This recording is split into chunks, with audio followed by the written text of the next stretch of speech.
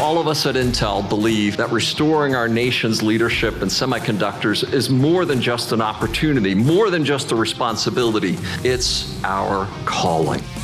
We are announcing our intention to invest $8.5 billion in Intel, America's champion semiconductor company. That investment will be the single largest grant that we make from the entire CHIPS program.